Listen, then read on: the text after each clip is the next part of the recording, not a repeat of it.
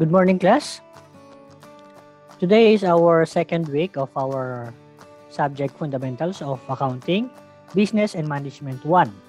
Last time we have discussed already about the introduction of of this subject and how accounting began in the history. So balikan nga natin class yung ating mga na-discuss last week as a sort of review.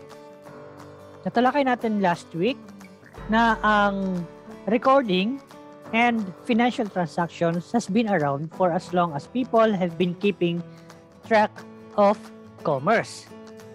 And accounting has a long history with its origins in the earliest transactions between people and those people used wet clay tablets to record their transactions with other people. So noon pa man, sinasabi dito na ang mga tao ay engaged na sa banking. Or kung hindi man actually banking na iniisip natin ngayon, financial matters, meron nang nagaganap na transaction sa kanila. At para hindi nila makalimutan yung kanilang mga transaction, lalo na pagdating dun sa mga collectibles or payables nila, nire-record nila ito sa wet clay tablets. At uh, hanggang sa naging nag-improve nang nag-improve yung accounting procedures, yung bookkeeping procedures at ang uh, nagkaroon na ng mga uh, standardization. Okay, nagkaroon na rin ng mga tinatawag nating principles. Hanggang sa panahon ngayon, ang ating accounting principles ay moderno na. Ang bawat bansa ay meron ng mga tinatawag nating principles at mga rules of recording and reporting. At gumagamit na rin tayo ngayon ng mga online spreadsheets para sa pagre-record, sa pag-bookkeeping, at gayon din sa pag-produce ng report or financial statements. Ngayon, gusto kong tanungin kayo ng ilang mga katanungan bilang mga estudyante at pag-isipan ninyo yung mga isasagot nyo rito. So, think about this, guys. Do you belong to a family with no set of rules being implemented? Do you belong to any group with existing set of rules, but you do your own rules? Do you work in a company with specific policies, but you do not adhere to those policies? What if may sarili kayong rules, may sarili kayong batas, pero kayo ay kabilang ng isang organisasyon? na merong sinusunod na sabihin natin rules, um, policies, principles, or yung norms na tinatawag natin.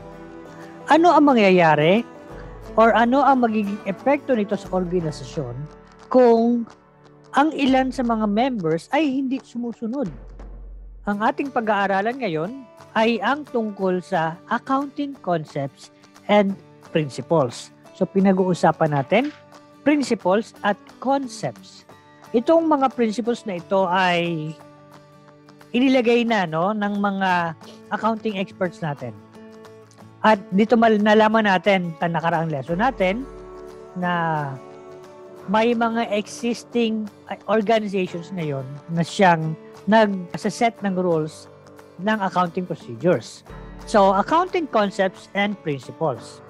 Sabi nga natin, class, accounting is the language of business as it communicates the financial condition and performance of a business enterprise to interested users for decision making.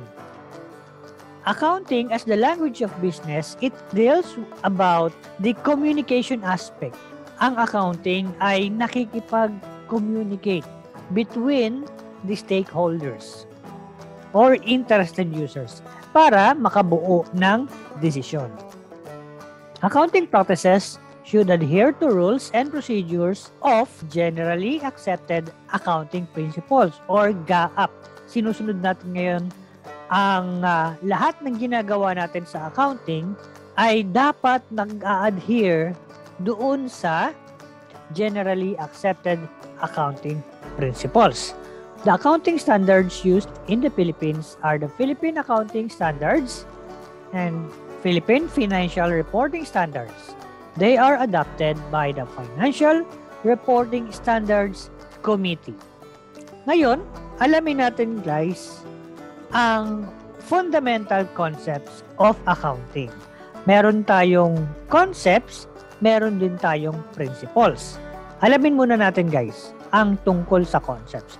Accounting concepts are similar throughout the nation.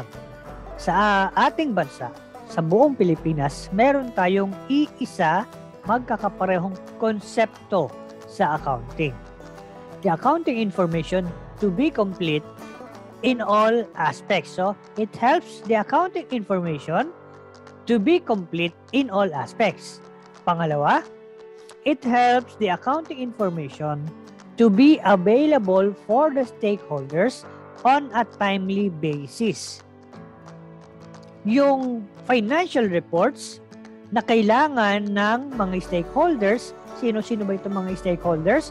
Sila yung mga interested parties or yung mga users of accounting information. At sabi rito, on a timely basis, dapat relevant siya, dapat hindi nahuhuli, timely, no? Napapanahon pa. The accounting information to be understandable by anyone. Madaling maunawaan ng kahit sinong users. At pang-apat, it helps also in presenting the accounting information relevant to the analyzer. Now, the fundamental concepts of accounting, isa-isahin na natin. The first one is entity concept. Business owners are treated as separate entities through this concept. Ano ang ibig sabihin ng business entity concept? Kung kayo ay meron tindahan, meron kayong grocery, meron kayong hardware o kung anumang business meron kayo o ang inyong pamilya, ibig sabihin lang na separate ang inyong personality. Magkaiba ang sa business nyo at magkaiba ang sa inyo. Ang personal na pera ninyo ay hindi pera ng inyong negosyo. Yung mga kinikita ng inyong negosyo ay hindi ninyo pera. Sa negosyo nyo yon. Yun ang ibig sabihin ng entity concept. Dual aspect concept. In every debit entry, there is a credit entry. Ibig sabihin, sabi nga nung natin nung nakaraan, no? Nalaman natin na ang accounting ay art. It is an art. Ibig sabihin, may ginagawa tayong strategies sa pagre-record. At yun na nga, lumabas yung debit at credit. So every debit entry, there is a credit entry. Kapag tayo ay nag-record ng debit, tayo rin ay magre-record ng credit entry. It is briefly expressed under assets plus liabilities is equals to capital. Ito yung ating accounting equation.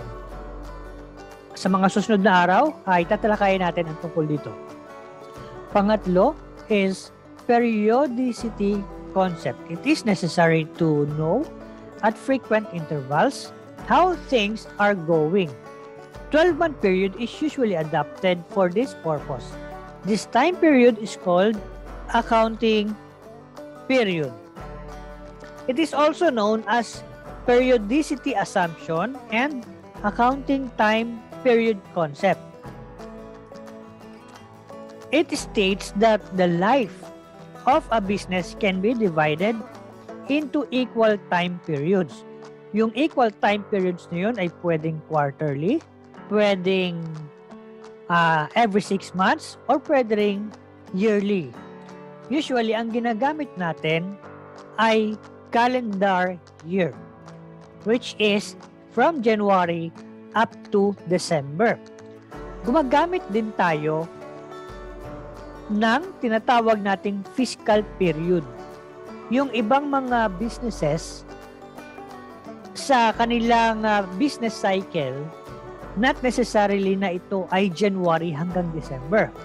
Kagaya na lang halimbawa ng mga magsasaka natin. Ang period sa farming, mula sa pagtatanim hanggang sa pag-ani ay hindi sumasakto sa January hanggang December. Nasa pagitan sila ng taon. Uh, kung hindi ako nagkakamali, ito ay April hanggang mga September. Yung accounting concept or periodicity concept na pwede nating i-adapt dito ay yung fiscal period na yon. Not necessarily the accounting uh, calendar period na January hanggang December. Pang-apat is going concern. This is an assumption made that the business shall run forever and the forced sale value of asset is not valued. It will continue for indefinite period. This implies that the business entity will continue its operations in the future and will not liquidate or be forced to continue or to discontinue operations due to any reason. Ina-assume natin na ang negosyo mo ay hindi agad magsasara or mag stop ng operation. Ia-assume natin dito na ang iyong negosyo ay tuloy-tuloy, forever. Yan yung going concern. Unless there is reasonable uh, instances na talagang makikita mong mag-i-stop na talaga ang iyong operation ng business. Panglima, money measurement concept. Only those transactions are recorded which can be expressed in terms of money. Ang ibig sabihin ng money measurement concept sa uh, tinatawag nating business transactions, ire-record lang natin ang isang transaction kung financial matters or monetary terms. Kung hindi natin ma-quantify sa pamamagitan ng money, hindi natin ito ituturing as money measurement concept. Kagaya na lang ng ang isang HR ay nag-hire ng mga empleyado. Hindi pa natin yan may tuturing na business transaction kasi wala pang involved na pera.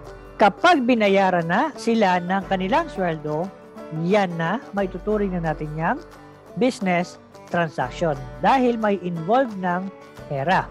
Ang isa pang masasabi natin tungkol sa money measurement concept, halimbawa yung Jollibee ay may branches sa ibang bansa. Kahit dolyar ang kanilang kinikita doon, ang kanilang revenue, ire-report pa rin nila ito in terms of peso dahil ang head office ay nandito sa ating bansa. Cost concept. The cost is considered to be the same as what is paid in the beginning and never its realizable value at a later point in time. Ibig sabihin lang nito, sinusunod natin ang historical concept or cost concept. Usually sa mga fixed assets, ito ay recorded at a cost price and are systematically reduced by the process called depreciation malalaman natin yung tungkol sa depreciation sa mga susunod na araw. Ang tinutukoy ng cost concept na ito, kapag ikaw ay bumili ng isang building halimbawa, lagi mo siyang ire-report sa iyong financial statement kahit lumipas na ang ilang taon, ire-record mo pa rin siya sa kanyang historical cost or yung original cost ng pagkakabili mo sa kanya or these assets will disappear from balance sheet at the end of their economic life when they have been fully depreciated and sold as scrap.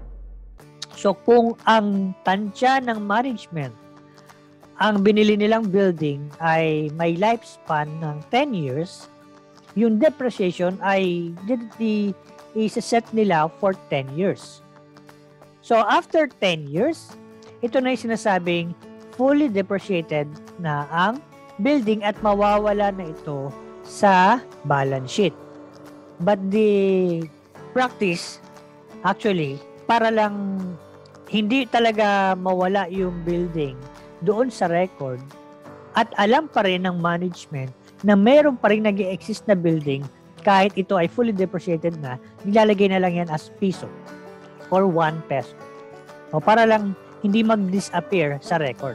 7. Accrual accounting. The effects of business transactions should be recognized in the period in which they occurred. Income should be recognized in the period when it is carried regardless of when payment is received. Expenses should be recognized in the period when it is incurred regardless of when expenses are earned. Ibig sabihin, kaya tinawag itong accrual accounting. Kung kailan natin na-recognize yung income, doon natin siya i-record. Halimbawa, nag, uh, nag tayo ay nagkaroon ng income mula sa ating laundry shop for this month, February. Kahit yan ay utang, kahit iyan ay babayaran ng customer sa March, pero ngayon nangyari ang service, i-record mo yan ngayon as income ngayong buwan na ito. Yan ang tinatawag nating accrual accounting. So, ganun din siya sa expenses. Kung kailan siya na-incur, doon mo rin siya i-record regardless kung kailan mo siya binayaran. Realization concept. Revenue is only recognized when goods or services are delivered or rendered to the buyer. Realization basically refers to the inflows of cash or claims to cash arising from the sale of goods or services. Ang sinasabi dito na yung revenue natin halimbawa o yung benta natin ay re-recognize lang natin yan kapag mayroon na tayong nagawang serbisyo or nagbenta tayo. Doon lang natin siya i-recognize. Matching concept. This means that cost should be matched with the revenue generated. In other words, this requires a company to match expenses with related revenues in order to report a company's profitability during a specified time period. Therefore, cost should be matched with the revenue generated. Example natin dito is when you provide tutorial services to a customer and there is a transportation cost incurred related to the tutorial services, it should be recorded as an expense for that period. Kapag tayo ay naggawa ng financial statement, doon sa income statement makikita ninyo na meron tayong revenue at meron din tayong expenses. Dapat ay meron yan pareho. Kaya tinatawag nating matching concept. May revenue at meron kang expenses or cost for the same period. Now, let us talk about accounting concepts versus accounting principles. The main difference between accounting concepts and accounting principles is accounting concepts are the important conventions with which the accounting data is recorded based on certain assumptions whereas accounting principles are the rules to be followed while reporting financial data. The former is the data recorder, while the latter is the data presenter. So tingnan ninyo ang pagkakaiba nila. Concept, assumption. Principle, rules to be followed. The main purpose of accounting concept is to record data by the accountant while the accounting principles are to report the financial data based on GAAP norms. Accounting principles are considered internal for the process as it follows to record the data while accounting principles are also internal but the report has to be presented externally as well. Accounting concepts are to be followed first to record data while accounting principles are followed later to report the financial data. Accounting concepts help in giving complete clarity on the finance data while accounting principles are required to be followed to report the finance data or legal compliances. So, ang accounting principles, ito ay, sa madaling sabi, rules na ang nag-formulate nito yung ating mga eksperto. Yung generally accepted accounting principles na ang nagawa ay ang Philippine Accounting Standards, Philippine Financial Reporting Standards. Sila ang nag-formulate ng mga yan. Now, let's proceed with the basic principles of accounting. It is almost the same with some of we have discussed dun sa concepts. The first one is objectivity principle. Accounting information should be unbiased and free from any external or internal influence. Independent. This helps financial statements to be trustworthy and be useful for evaluation. Transactions should be supported by documents. Ibig lang sabihin, objectivity principle, kailangan totoo ang transaction at supported by documents. For example, kapag ikaw ay nagbenta ng iyong item, kailangan mong magbigay o mag-issue ng OR or official receipt or yung mga sales invoice at kung ano-ano pang mga ginagamit nating mga documents para sa mga transactions. Yan ang objectivity principle.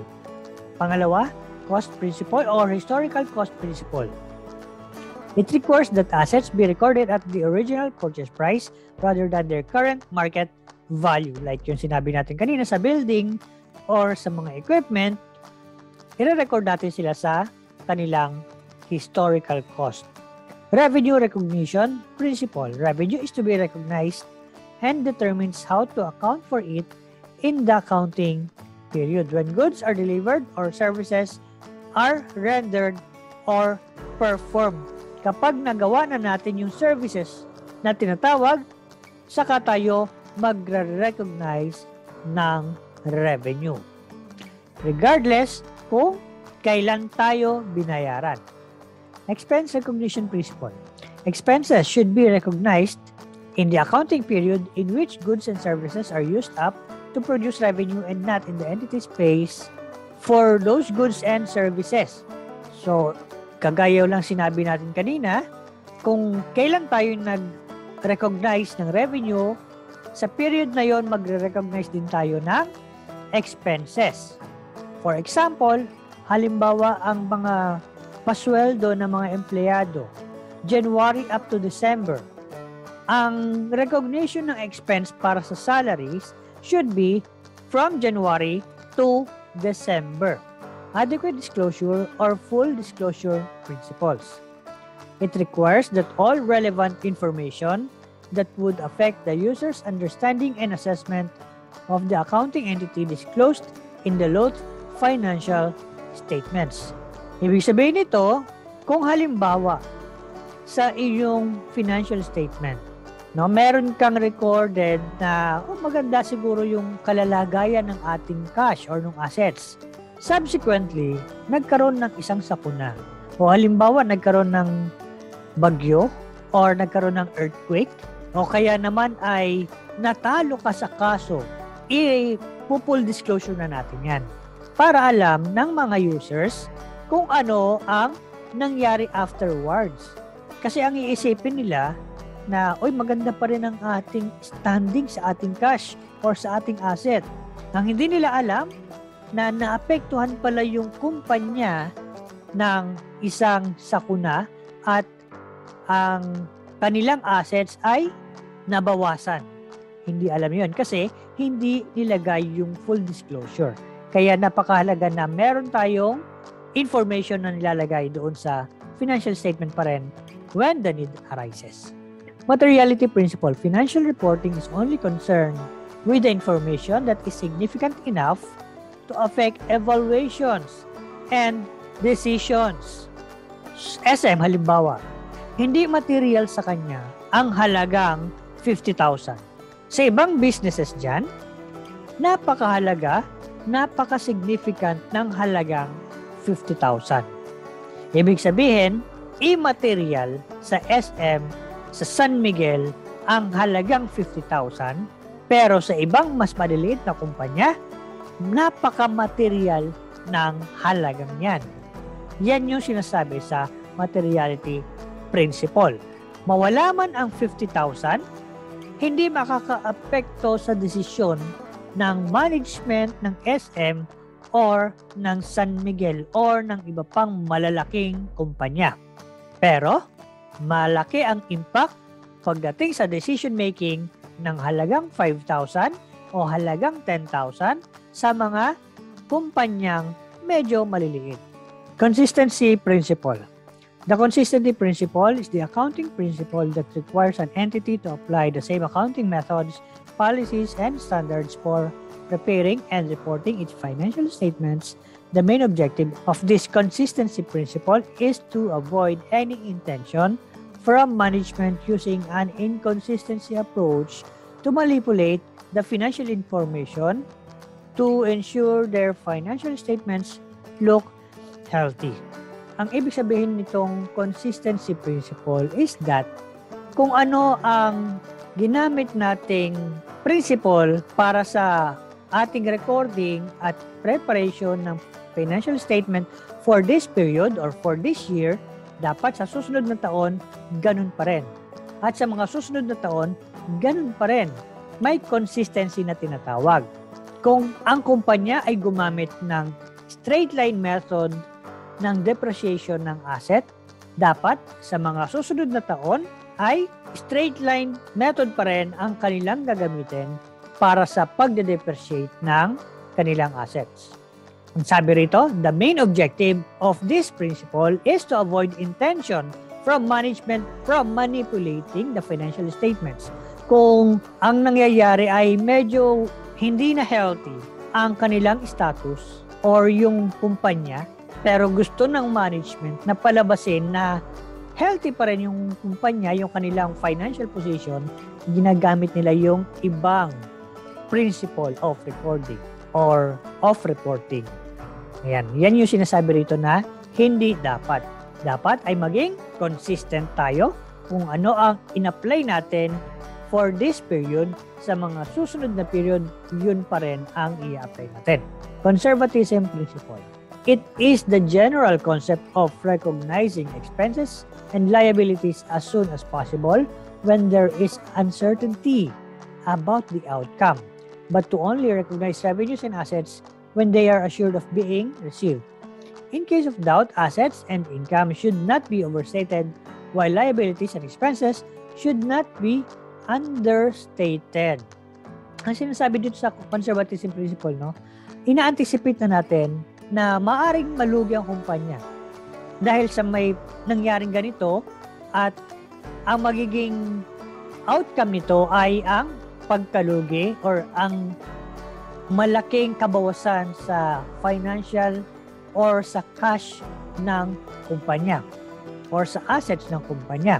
Ang example natin dito, class, sa conservatism principle ito, kung nakikinikinita na ng kumpanya, ng management na matatalo sila sa litigation or sa kasong isinampa sa kanila, i-apply na natin ang conservatism principle. Pero ang sabi rito, in case of doubt, yung assets at income daw ay hindi dapat i-overstate in case of doubt. Ibig sabihin in case of doubt, 50-50. Pwede kang hindi malugi, pwedeng malugi. Yung liabilities and expenses, on the other hand, should not be understated. Now, what is the application of all these concepts and principles we have in accounting as an adherence to generally accepted accounting principles. Understanding the accounting concepts and principles properly is necessary for anyone who is willing to make career or working in the field of accounting. If these concepts and principles are followed in the professional work in a way as needed, accountants can save money, energy, time, and efforts while a good grasp of these concepts and principles enable them to work effectively and efficiently. Ang sinasabi dito, makakasave tayo ng money, energy, effort kung susundin natin ang generally accepted accounting principle. Dahil ito, ang mga principles na yan ay napag-aralan na ng mga eksperto at uh, base sa kanilang experience. Kaya inilatag na nila ang kaniyang ang uh, ganyang mga principles. Accountants need to apply professional judgments while preparing financial reports. These concepts and principles help them to ensure that they are not being misled and that providing a true and fair view of financial statements is being accomplished. The accounting concepts and principles are important for accountants as they need to abide by them every time they involve in analyzing, recording, summarizing, reporting, and interpreting financial and transactions of a business. Yung mga accountants ay kinakailangan dumating sa punto ng decision making or professional judgments ang gaap ang nagiging Biblia nila para ang kanilang mga judgments, ang kanilang mga decisions ay maging tama. Kung magkakaroon ng tinatawag nating hindi kasiguruduhan or kalituhan kung ano ang dapat na maging hakbang pag na-encounter nila isang problema, itong mga concepts and principles na ito ang dapat nilang sundin. Sabi ko nga kanina, itong mga principles na ito ay hinug na sa panahon. Ito ay na-encounter na, na-experience na ng ating mga eksperto at kung kaya't nilatag na nila ang mga principles and concepts na ito para i-apply at i-implement din ng iba't ibang mga kumpanya. And now, for our question of the week. Haling Marites sold a piece of cupcake to her neighbor. Apparently, her customer is out cash, so Aling Marites had to consider it as credit but still recorded it in her books. What concept of accounting was observed? Letter A, accrual concern concept. Letter B, going concern concept. Letter C, materiality principle. Letter D, matching principle. Comment your answers in the comment section. So class, hanggang dito na lang yung ating lesson for the week. And again, see you next week. Have a nice day.